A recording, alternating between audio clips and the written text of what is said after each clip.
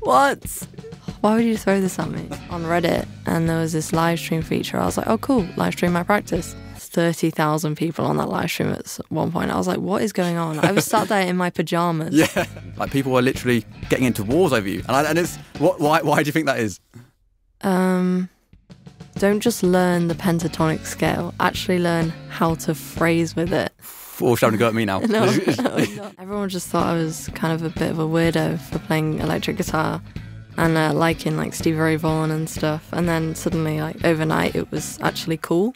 This video that I did for you just blew up, didn't it? Yeah, and it's people loved it. that video has probably accumulated up to like 10 million views on all platforms. It's gone super crazy. Sorry to say this, but a lot of you are stuck in your old ways, Oh. and uh, I actually don't appreciate it. So would you buy like a Gibson, for example? No, okay, no, no comment. trying to throw me into an existential crisis. yeah. Yellow, Yellow. yellow. Yellow. This is it. This is it. Are we? Are we rolling? We're rolling. Okay. okay. Hey guys, welcome to the very, very first Pedal Pawn podcast. We have. Uh, I can attest to saying this after spending a good seven days with Mimi. She's one of the coolest people on the planet. We're here with the one and only Mimi Sounds. Let's go. How you doing? I'm doing good, thanks. Uh, thank you for that. No, it's cool. It's all cool. Um, I'm sure you guys probably know who Mimi is. If you don't, you've been literally living under a rock because you can't go on Instagram, Facebook, YouTube without seeing her. She everything she posts blows up. Everything. So um, that's probably a good way. That, I feel like there's a few ways I was going to try and start this podcast, but I feel like the best way to do it is to actually talk about how we met and the viral video that it did help blow Pedal Pawn up as well. Because um, do you want to just talk about the video? Yeah, so um, it's kind of weird because I'd already like, I'd already started kind of doing videos for quite a while by that point, like maybe uh, a year. I don't know. Yeah. And I I always put like so much effort into these videos and like the recordings and making sure it's mic'd up and all proper. But this video that I did for you, um, I didn't even know your company at this point properly. It was actually one of my friends in London who just gave me one of your pedals. And he was like, Yeah, it's super cool, check it out. And I was like, I will. And I loved it so much that I was like, I'm just going to do a little video because I think my audience will love this as well. And uh, like I, I didn't mic it up. I didn't do anything like that. It was just kind of super chill. This is how it sounds this is how the guitar sounds without it. This is how it sounds with it. And the video just blew up didn't it? Yeah, and people loved it. I was kind of blown away because i was like i put all this effort into my other videos and then like the one video that i just don't even bother miking it or anything. It just goes crazy. For sure. I feel like that's there's sometimes like a direct inverse correlation with how much time you put into something and how well it does. Because if I spend four days on a video, it'll get one view. But if I spend like five minutes, it'll go viral. It's like it's, it's so annoying. But um, that video has probably accumulated up to like 10 million views on all platforms. So it's gone super crazy. And yeah, I mean, it's funny because I didn't actually know who he was. I'm sorry, I didn't, I didn't, I didn't know. But I think you tagged us in that post, and I was like, who is this girl? Because like it just went mental, and the playing was crazy. More importantly, forget the tone. The playing was crazy, and that sort of you know letting itself into future opportunities that we've now gone on to collaborate with. Like we um then were proud to sponsor you to go to NAMM. yeah So that was like always been a dream for you, hasn't it? Since you've been like younger, like um, what, what why why did you want to go to go to NAMM? Um, I've always watched guitar YouTube, and I've seen, I've heard people talking about NAMM, and I've seen a few videos, and it just seemed like, and I- also it's in like, well, it's in Anaheim, which is next to LA, kind of thing, and it just seemed like something I really wanted to go to. Yeah, yeah, And uh, we were at the point in our like relationship um, where you were like, "Oh yeah, just let us know like if, if we can do anything for you." yeah. And I was like, "Well, Actually, I've got a few, I've got a list, a list prepared.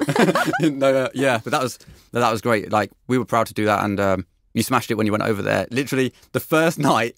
I hope you don't mind me saying this, but Mimi texted me, and she was literally at like the top party where every YouTuber goes, and it's like there was everyone there, and it's like Mimi just got in. she managed to, you know, finesse her way into it straight away. So, so who who, who did you meet when you was over there?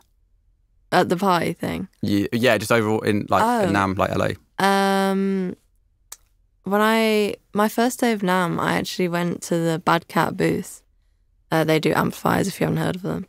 And uh, that was probably my favorite part of the actual NAMM show because they invited me to like try out their amps and play at their booth. And I think that's the start of this kind of great relationship we have going because I just love what they're doing so much. And uh, we've actually uh, we've been working on some stuff behind the scenes, and uh, we're going to be allowed to share that literally in like a week. Nice. So probably by the time this has come out, it's out. Yeah, Am I right in thinking that you had the chance to meet one of your childhood heroes over there? yeah. So uh, Tim Pierce was um, a session. He was doing like session work in the eighties and the nineties, and um, He's, I played, always, he's played on. Sorry, to he's he's played on everything, hasn't he? He's Yeah, played. If you yeah. Google his like Wikipedia page, he's played on like Michael Jackson's records, like um, I don't know, like just like anyone you can think any- of. anyone. Yeah, yeah, he's there. I met him at the party. That was great. Honestly, it was so weird to like see him in person, you know. Yeah, And um, and then we did a video together. We did a kind of a track, and uh, I got to learn like I got to actually see one of the best session players kind of in action, which was really cool. that's amazing. Can I just get some water? Yeah, sure. Yeah, yeah, I don't know why it got so hot. yeah. It's like the pressure. There's like four lights on you. Talking about like Jesus, my heroes.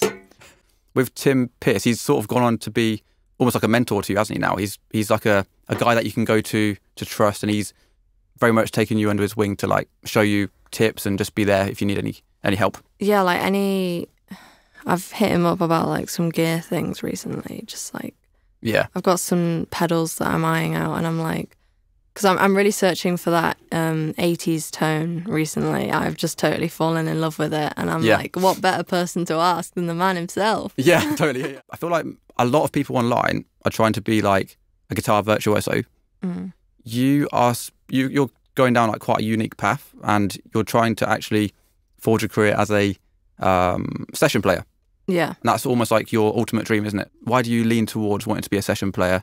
I think when I started out, the idea of like doing a show looked really cool. Like, I first saw Jimi Hendrix, um, just a video of him doing Voodoo Child, and that's kind of what started my like guitar playing.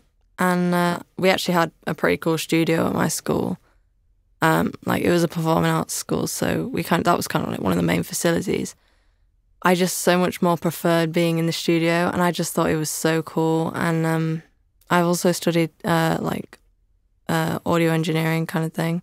Like, I'm not. That's not like my preferred avenue. Like I much prefer like playing music and playing guitar, but I just find it so much more interesting. Um, I'm not saying like I would exclude live playing altogether. I definitely think I want to do that in the future. But yeah, being in the studio and just making songs and crafting all the parts, that's always really appealed to me. Um, I've kind of had gear throughout the years where I've tried to do it at home.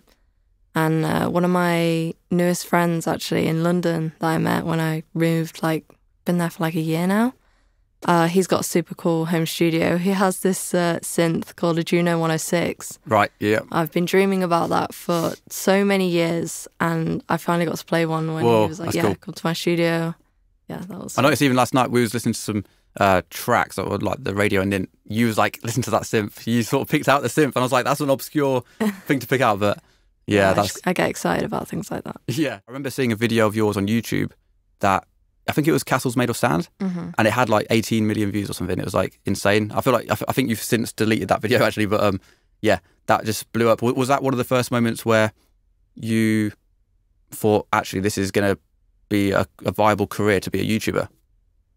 Um, I think so. the The strange thing is actually, like, I started out on just Instagram, Yeah, so I think I'd already posted that video on Instagram uh, along with a few others, and then uh, I just posted a few on YouTube. But it was kind of like a just for the hell of it thing. Like nobody would like all my followers or people who enjoyed what I did were on an ins- on Instagram.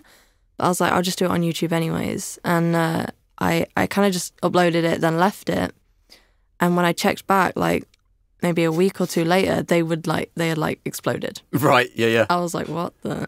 to, to be honest, your growth is like literally meteoric. Like you, you went from like zero to, you know, hundreds and thousands of subscribers in, in a year, didn't you? It was like Yeah. probably was it from like zero to five hundred thousand in a year or something like that. Something like that. Yeah. Which is if anyone knows anything about YouTube, that's hard to do, and you just smash it straight away off the bat. So you went super viral, and like, what what was it like to just go super viral? Because I know you've we've had chats off camera where, you know, throughout your teen years and stuff, you've been a bit more reserved and not had too much attention on you. But to go from that to suddenly like being, you know, absolutely blowing up, it must be quite an experience. Yeah, oh my god. Uh, I was just everyone just thought I was kind of a bit of a weirdo for playing electric guitar and uh, liking like Stevie Ray Vaughan and stuff. And then suddenly, like overnight, it was actually cool. Yeah, Um, that was a really strange experience for me because I, I was just like, wait, why are people enjoying this? Yeah. Like, doesn't feel right, does it? No. Yeah.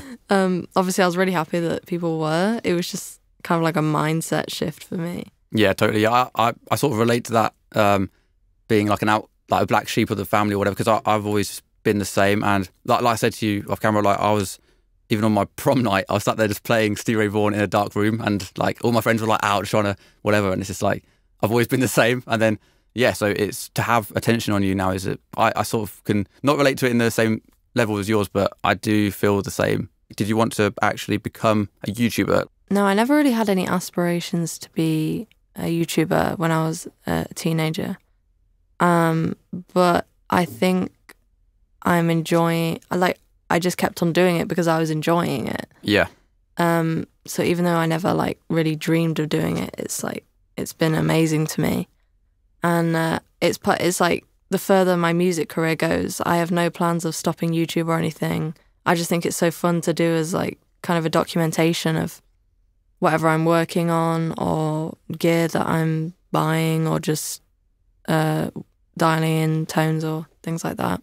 Totally. I feel, I feel like that's why um, so many people sort of like falling in love with you on YouTube. It's like you you are literally just vlogging your life and you're so authentic with it. It's not overproduced. It's not. It's just literally your life, and that's I think that's why people have uh, become sort of like just yeah, sort of infatuated. I mean, eh, some some guys have become very infatuated. It's, very, it's like That's an understatement. yeah, totally. We'll, we'll talk about some of that in a, in a bit. In a bit, but um, yeah, um, it's funny because nowadays, like they say, the top um, job choice that if you ask anyone under like ten, they want to be a YouTuber, and you've sort of just almost stumbled into it by accident, which I find really like fascinating. But it's most most people are trying to spend their whole life to do it, and you've you've done it by like sort of blowing up naturally, which I think is the best way. You've not been too formulaic with it, but also I remember you saying once a story about like the very how it actually very first started is you wasn't you doing like a live stream on was it Reddit or something? Yeah, so I uh, I was in college at the time, and I actually hadn't practiced guitar. Like, actually sat down and practiced for a couple of months, and uh, I thought now's a great time to just sit and practice. And uh, I was actually on Reddit, and there was this live stream feature. I was like, oh, cool! I'm gonna go live and and uh, live stream my practice, and uh, like it got to about 30,000 people on that live stream at one point. I was like, what is going on? I was sat there in my pajamas, Yeah, like with my hair a total mess because I wasn't expect I was expecting like five people to come on and just tell me that I'm crap. yeah, Um, so that that has like 250k now and that was yeah, I'd say that's like the start of everything for me. So yeah. That was like an important moment. It's funny you you could have done something totally different that night. You could have just been like, I'm gonna like go and you know make some pasta or something, but you're just like I'm gonna sit there and actually do this, practice, live stream it, and then it's it's led to what where you are now. yeah, it's, it's so weird when you think about it. So anyone watching, what is the actual reality of being a YouTuber? It's quite a lot harder than it looks. Yeah, um, because once everything's edited down, it just looks kind of simple, or even the videos don't look that long. But the work that goes into the guitar playing behind the scenes, like making sure you are always kind of up to the highest standard you can be at that time. Um, so first putting the work into the guitar work, and then putting the work into the video. It's like two Yeah. separate things that you combine, and uh, keeping both of those up to the quality that you want is actually kind of difficult. that's right. Well, we've been hanging out in Sweden. To, we've picked up this vintage um, Strat. That, I don't know if you just quickly show you the camera. Don't know if you guys can get that as a close up or not. But we picked up this old Strat, and um, we've been filming some content for it. And I've literally realised how. Say if someone sees like a ten minute video online, that can take you hours and hours to edit just for that ten minutes. And it's like people sometimes think, oh, I'm just going to get a you know a camera and plonk it in front of your face, and then there's a YouTube video. But there's a lot more work that goes into it, and you seem to have mastered that process behind the scenes. Yeah, I mean, I just I like I like editing it because it's to me it's almost the process of storytelling. Yeah, yeah, yeah. Um, so if you do it right, you you kind of it can be really nice in a way, um, but it is Yeah. stressful at the same time. Yeah, definitely. Yeah, we had some funny moments like editing this time because we, we, we were editing on a train. And we could just see each other laughing while we was editing it because there's just so many stupid things going on. But yeah, yeah. So how, how are you like in Sweden? Is it how's it different to London? Um, well, first we went to Gothenburg, didn't we? That's right. Yeah, yeah, It's that's a lot less kind of busy and fast paced than London. It was really nice to just kind of had have this take it easy vibe and just kind of chill and do whatever you want. Um, and then we came to Stockholm. That actually it actually has a similar vibe. Um, yeah. Mimi was like, I want to get out of London. Uh, then so we take it to a place that's exactly like London. Stockholm's really cool, and it's the overall vibe in Sweden. Everyone's so chilled out and just like cool, and they're accommodating, and um, yeah. Yeah. We, we've met a few characters, but uh, people actually like to talk to you on the street, which is cool. Yeah, I think Sweden's been great to us. We went to some guitar shops yesterday, didn't we? We went to some like vintage guitar shops. Yeah, what what do you while we're here, what what do you think to the the Strat? the Strat, um, you know, it's just some some guitars you pick up and you just you don't even vibe with it and you don't know what to play. But I was I was watching back the footage and it's like both of us just really gelled with that Strat, Yeah, it sort of excelled both of our playing, didn't it? It's like- right? yeah. like we never kind of didn't know what to play or was like, oh, the-" uh, it just it just works really well. And actually, just to see that guitar, it just it's so.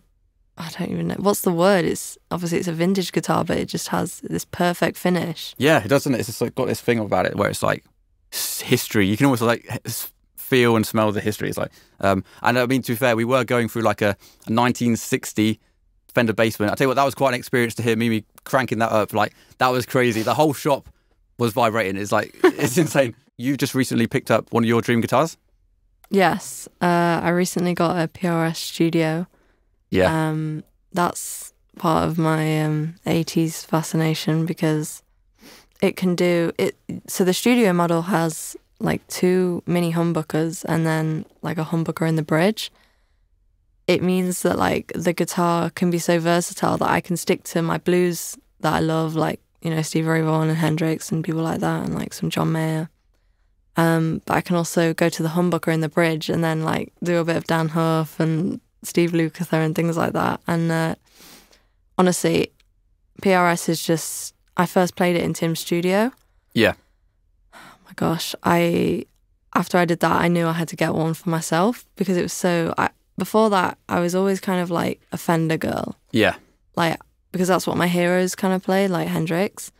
And um, but no, after I tried a PRS, I was like, I need one. Yeah, totally. And you went to the guitar gallery in Andertons, didn't you? To pick Mhm. that up, which was really cool. That's an experience in itself, isn't it? Definitely. It's like I don't, I don't know if they rope it off to the general public, but I feel like they're a bit more protective about who goes in there. But Yeah, I- think you just have to make an appointment, and then uh, because Yeah. they have like the two guys who are like really knowledgeable about every guitar in there, and then Yeah. they're gonna tell you like exactly um, what you might want to hear about your guitar that you're looking for. so, so what drew you to that exact PRS then? Um, the beautiful color, obviously. Um, but also, yeah, probably the pickup configuration, just because it's so versatile. It's like I've heard it described as like the desert island guitar. Right. Yeah. just because you can you can do basically anything on it. How do you feel like gear is um, sort of relevant in 2022? Because it's almost become part of like your identity, hasn't it?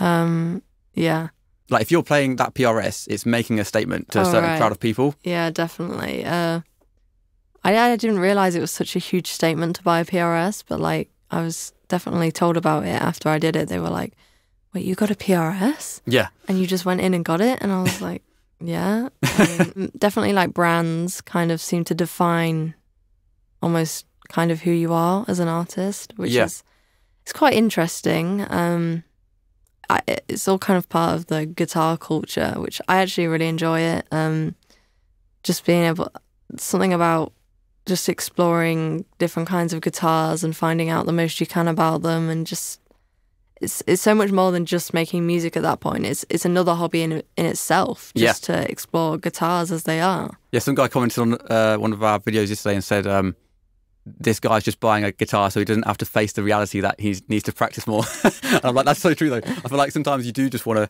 sit online on Reverb at night and just like look at guitars, and it's be- it's more fun than practicing. But uh, you know, you've got to, you've got to put the practice in too. But it's like I say, it's a separate thing. It's almost like a totally separate industry from actually practicing and trying to get better and you know worrying about the business side of it. But Yeah. yeah. Um, talking talking of some of the comments we get, we've had a good laugh this last week. Literally going through some of our messages and just looking at the absolute ridiculousness that we both get. Um, for some reason, even if you're just being yourself, sat there with a guitar in a jumper, whatever, you still get this strange reaction of like polarization. Like people are literally getting into wars over you, and I, and it's what why why do you think that is?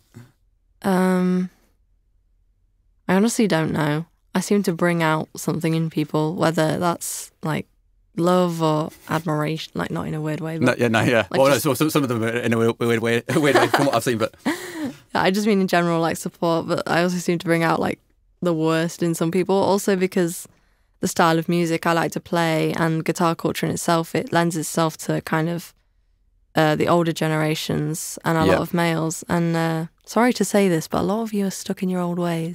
And uh, I actually don't appreciate it. But, you know, that's fine. well, if you look at my demographic on YouTube, it's 99.99% male. And then I think the one person watching it is my grandma or something. Like, that's a, that's a woman. So I feel like it's, yeah, and you've got the same, haven't you? It's like, I mean, there- there's so much misogyny in my comment section. It's actually um, kind of depressing. how do you deal with that? Um, you know, I've asked my friends like, what, what should I do? Um, and they were just like, "Y- you're gonna have to deal with this probably for the rest of your career. Mm. Um, it's just that's just how it is at the moment. Maybe things will change, but it's not up to it's not your fault. It's not up to Yeah. you to try and change yourself to deal with it.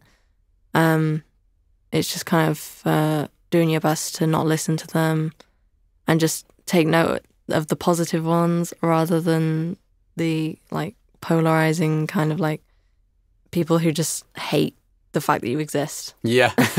yeah.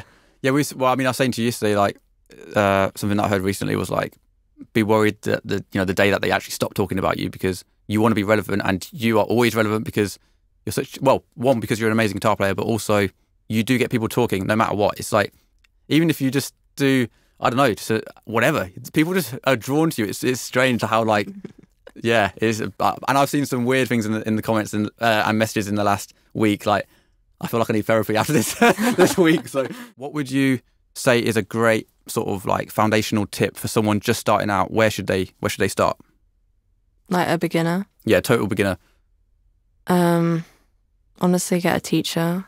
Um, just because I feel like having a teacher in that first year is what saved me from. It, it it allowed me to start out with having my technique right because when you're you can you can learn at home from videos and songs, but there's no one to say, oh hey, you should probably work on your technique there. It's a, you're doing that a bit wrong. You're not holding your pick right. Yeah. Um, I'm trying to think what my guitar teacher told me back in the day. Actually, back in the day, it was like Back six in the day. years ago. When I when I was twenty years old. um, well, I I always made the argument. I was like, I don't want to use a pick. He was like, you probably should learn how to use a pick. Yeah, Um, I had those same things. I, I used to play um, with two fingers, which is really weird. There's actually a video of um, I've got it on my phone. I'll show you later. It's like I'm playing Mary Had a Little Lamb by Stevie. And I'm just like doing this weird technique. It's so strange. And also some bad habits, as we was talking about before, I never actually have got out of. So I feel like if I had a teacher at that time, they would have been like, "Yeah, Chris, you need to stop doing this. You're what are you doing?" A bit of like an accountability partner, someone to say, "Do this by next week, otherwise I'll beat you up or something." You know, it's like you have that person just saying like, um, "Get on with it," and I feel like that's important for the start, isn't it?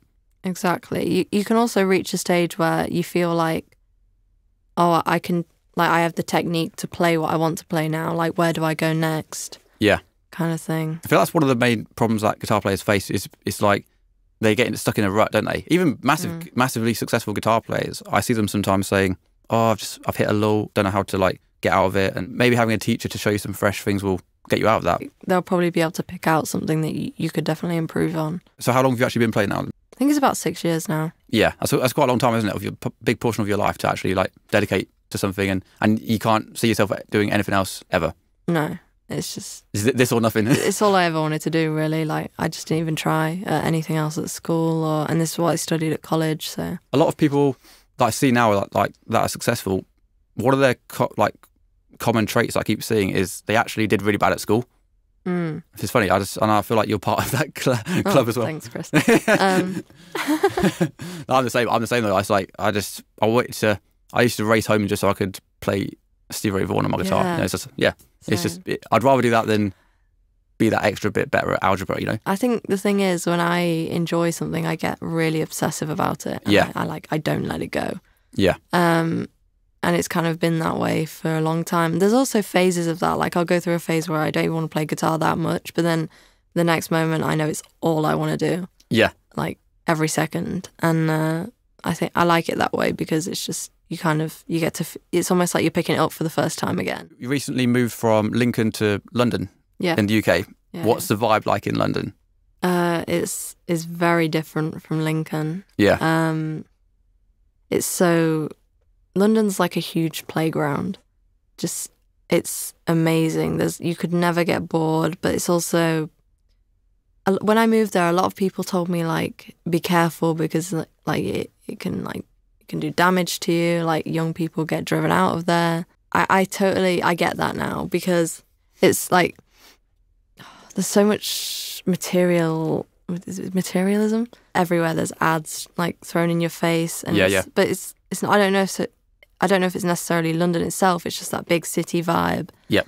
um but I love it for everything that it is you know I just I can't I can't imagine living anywhere else right now Yeah. um, and it's strange because I moved to London to kind of meet other musicians that I might want to play with, or maybe start a band, or maybe just do some recording together. Um, I have met a couple and I've gone to jams and stuff, but it's also that step that I moved from Lincoln and then out to London by myself. It almost sent this like signal out to people that I, I was trying to take it seriously. Mm. Like even though I knew that, it's um, intention, isn't it? it it allowed like me to show that to people and that and it's weird because moving to London allowed me to meet like Tim in LA Yeah. and like one of my friends Sean who's from Florida. Yeah. And now I have like this network of people who are just all over the world kind of thing and it's the best. And you say that sort of stemmed from going to London. London. Definitely. Yeah. I feel like the perception you portray online is quite important. Like if I was still living in my mum's basement, it's like no one's going to care like about what I've got to say because it's just you know you see your mum walking in to give you your dinner and it's like sorry yeah. So um, but no, that's awesome. I feel like London uh, is it's definitely in the UK is the place to be for music still, isn't it? There's still like yeah, like say cool jam nights. Would you say you need to actually be in London nowadays to be a successful musician, or could you could you do it elsewhere? Um it can well because everything about this world is so remote nowadays like you don't need to go to a studio to record you just need a laptop and maybe a couple of friends if if you're doing it that way but you can also just do it by yourself Yeah. um you could do everything remotely from wherever you want really Yeah, totally. Yeah. um but it depends what you're kind of doing if you if you, if you want to do a gig and stuff you're probably better off in a bigger city like london Yeah. um It's great. It's crazy nowadays how like the whole online world has just been like globalized into this. Like you can just go on Instagram, message whoever you, you got. But we were saying the other day actually, weren't we? Like how because it's given you that access to anyone and everyone. Uh, that's amazing. But on the flip side, everyone's got that same access, so it's almost Mm. like it's weird. It's all moved like that. Who would you say are like your top three like guitarists that you've actually inspired you to be where you are now? uh, Hendrix, Stevie Ray Vaughan, My guys. John Mayer. yeah. So definitely in like the first five years, I spent a lot of it trying to emulate them and learning their songs, their licks, um, how to solo from them. Um, but recently, I've kind of taken like I always wanted to be kind of a studio musician, musician, but I didn't try to emulate studio players. But now I've kind of taken a turn, and it's like, for example, Dan Huff, who's also like this incredibly successful session guitarist. Well, he's a producer now as well, but um, like he's one of my favorite session guitarists of the '80s, and I'm trying to like emulate the way he worked for a song rather than steal his licks and everything that he did. I'm trying to emulate his mindset and his philosophy. Yeah, that's like one of the key secrets to being like a, a session player. Not not trying to show how good you are. You're literally putting your part to make the song better. Even if it's like the simplest part. Yeah, sometimes I mean, I've heard this. I've heard guys being paid like five thousand pounds to go into a studio, play literally one note, and the producer's like, "That's what we needed," and then they walk out, they've got five grand in their back pocket. It's like it's a weird world, but if you're actually adding value to the song in that way, that's where that's what your job is. It's not about look how good I am at guitar. So that's cool that you've got that mindset. It's quite rare. I feel like the not many guitar players have that. Uh, most guitar players are like, I want to be the best, the biggest. Like, I want to play fastest. It's like, but you're not like that. No, I, I have some like competitiveness as as well about it. I feel like that's kind of built into guitar players. Yeah, I feel I feel like Um, you're you're quite analytical and like which is good for like you like to look at different metrics and think, okay, I'm going to get better like that, and you're quite um, astute to details, which is good. And I think it's something that's actually helped you get where you are.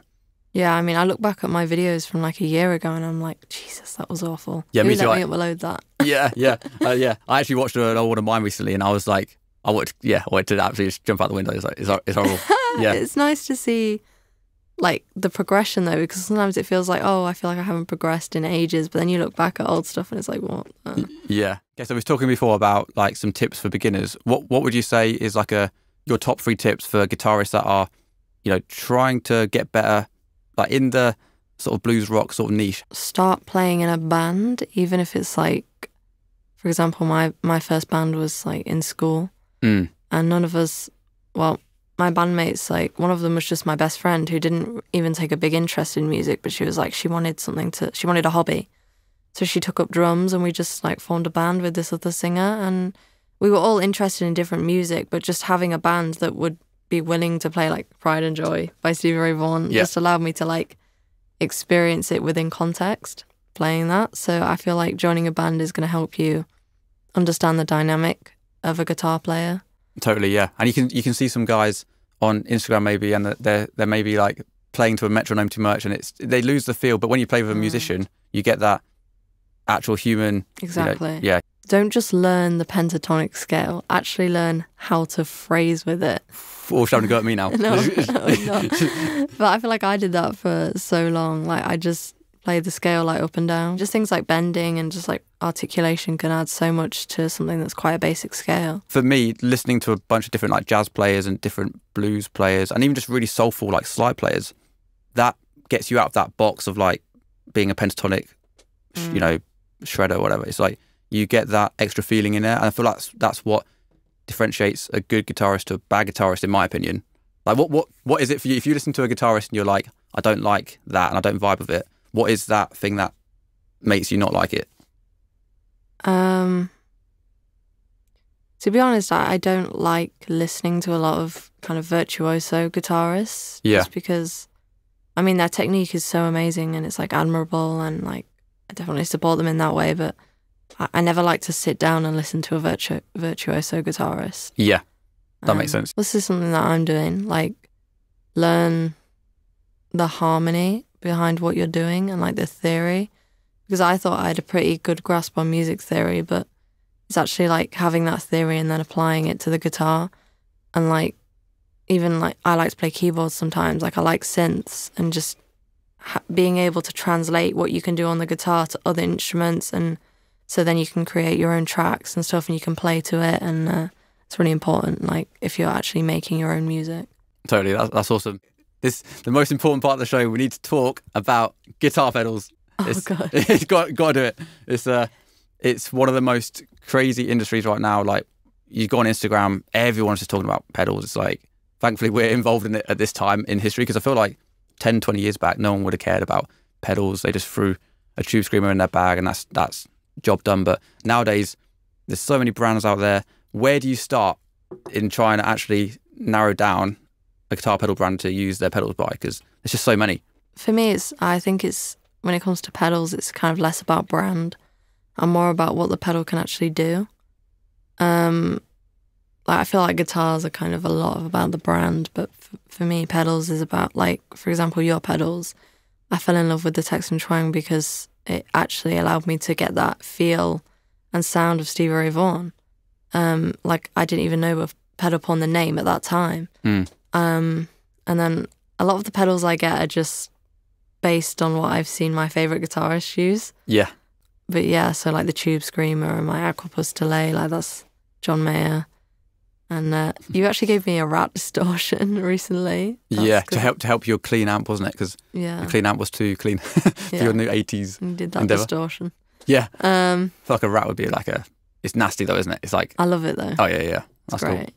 Um, and then I have a chorus pedal, a Boss one. That's I'll give you that too. Yeah, yeah. But I'm just, just like giving you all my just pedals. giving me all. That's me trying to get the 80s sound as well. Yeah. Um, yeah. That's cool. So when you're saying about like the guitar brands having like, do you feel like you have to connect with the ethos behind the brand if you want to buy a guitar? yeah, that that's important to me. Um, just branding is. I feel like you said when when you have a guitar, it's almost a statement. Mm. Um, when you're playing it, so that's that's quite important to me. So would you buy like a Gibson, for example? No, okay, no, no comment. okay, um, yeah, nice. I feel like that's what I'm trying to do with Pedal Pawn. Sometimes I'm trying to like actually build a brand and a community of people that all share the same, not share the same view, but they all are just part of something that like it's almost like a little community, you know? yeah, you, you're doing that really well. Like I feel like you've got all like the Steve Ray Vaughan and the Hendrix kind of enthusiasts, and you've kind of built something out of it. You know. That's cool. I, I mean, it's like it's um, yeah, um, that's what I'm trying to do, and it's yeah, certainly trying with it, but it's um, yeah, it's always hard. It's like just trying to find a little way through. That's what everyone's been saying to me. So, well, we've been in Sweden. Everyone's like, Chris, what's your like USP of like trying to get through the market? And I'm just like, it's um, Stevie Hendrix, old Strats. Um, You've made it really simple though as well. Like you, you look at your pedals and maybe you read one sentence about it and you know exactly what they're for. Yeah. You know the kind of person that's going to want them and you know if that person is you. I think that's what really pushes people towards you because the harder you make your pedals and gear to understand, like the less people are going to be interested in it. Totally. We, we were in a shop yesterday, and we've got our good friend Emmanuel Hedberg. He was a Swedish guitarist. He was with us um, yesterday, and literally, um, he was sat on the amp trying to get a sound out of the, while, while he was playing it, and he couldn't even. Um, sorry, sorry to um, out, out him like this, but he couldn't actually work out how to even turn the volume up. 'Cause It's that complicated. Because it's that complicated. There's like fifty, like fifty knobs on it, Yeah. and um, like Emmanuel was like just twisting them all, and he's like, no, nothing's happening. And we're like, we just want a volume control. Do you know what I mean? It's like, Exactly. Like Yeah. people people are going to be put off by that. Obviously, if they spent time with it, they might figure, oh, actually, I really like this amp. But like, it's about that immediate impression. Yeah, totally. Yeah, yeah. And like like you said about the NAMM thing, like if you go to a booth at NAMM, it should be.